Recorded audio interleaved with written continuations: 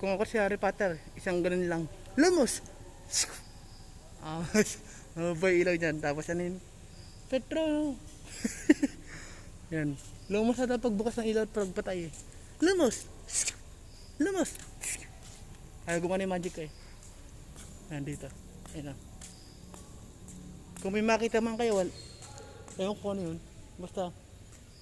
Hindi ko, di- hindi ko ilalagay yun. Pati pag may mar- marinig kayong iba. Hindi ko dinala sa gimbal eh. Baka biglang umulan. Stage 2 para stage 2 stage 2 para sa ano yun, binibini. Nabinyagan ko na to kanina. Ah, kahapon. Naglakad na ako dyan.